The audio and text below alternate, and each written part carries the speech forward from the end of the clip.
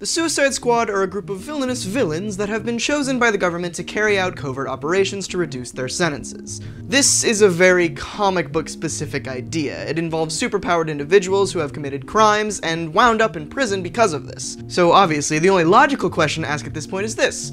Could the Suicide Squad exist in real life?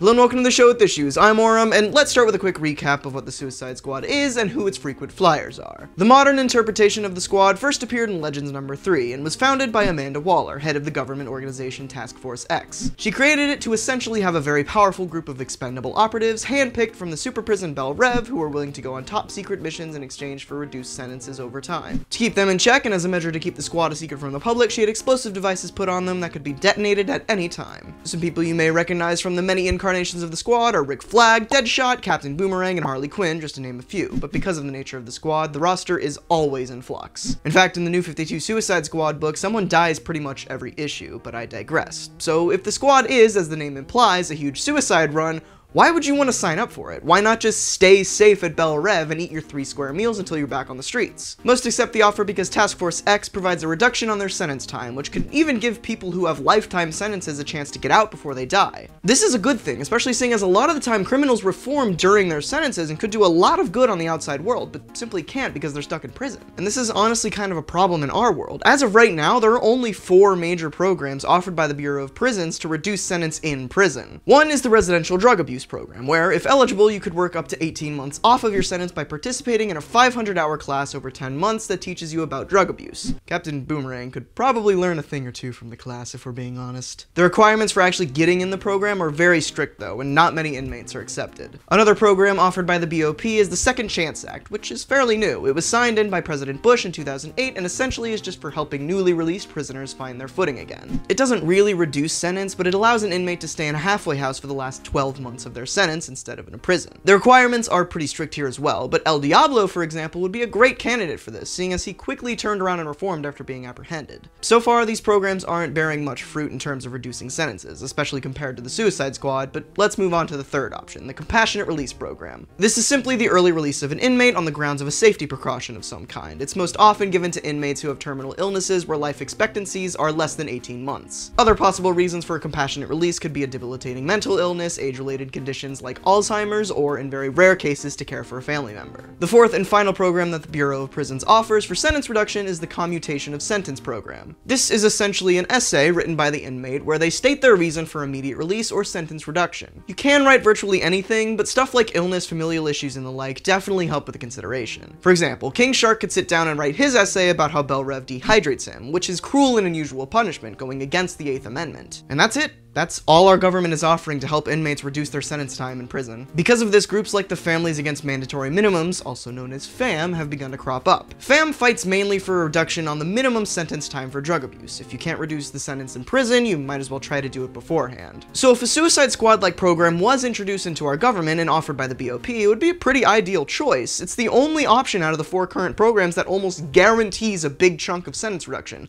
assuming it works the same way it does in the comics. But what's stopping an inmate from joining the Suicide Squad, getting out, committing another crime, and getting thrown right back in prison. This is probably one of the reasons the current programs are so strict to prevent this, but another way to accommodate for this is through various rehabilitation programs. These come in many forms, like Houses of Healing, for example. This is a program that helps an inmate come to terms with whatever crime they committed and recover from it. It also helps them to be confident in life after their sentence so they don't feel pressure to just break the law again to survive. But these programs cost money, which people don't like to spend, which has led our prisons to become more punishment focused instead of actually trying to help inmates get back on their feet. Punishment in prisons works in a scarily similar way to how most schools operate. If you commit an infraction, depending on how serious it is, you're either immediately punished or given a shot.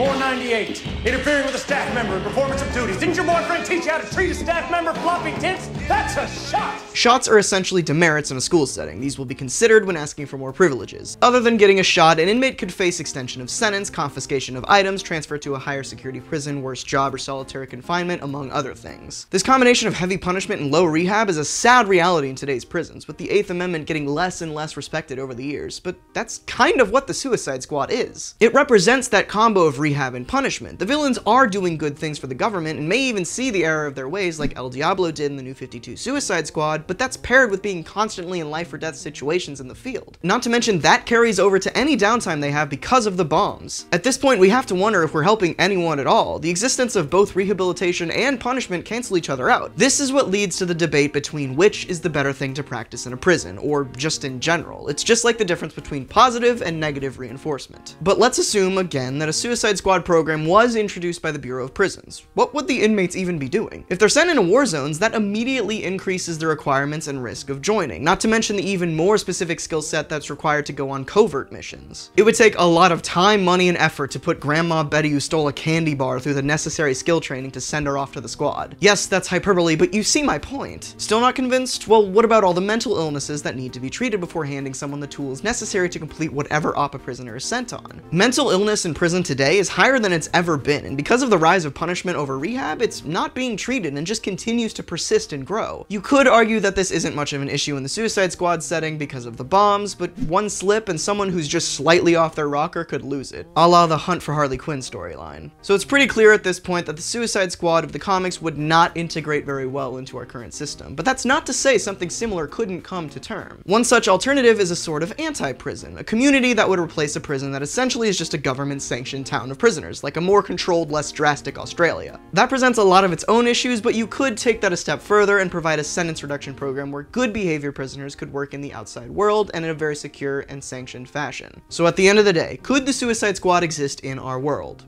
Probably not. Could better sentence reduction programs that aren't entirely impossible to enroll in exist in our world?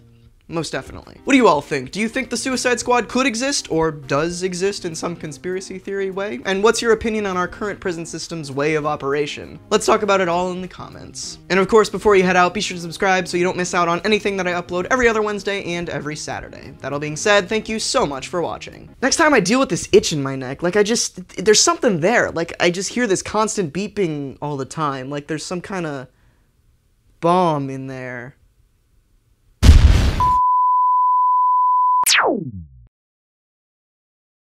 Mendez is back, bitches.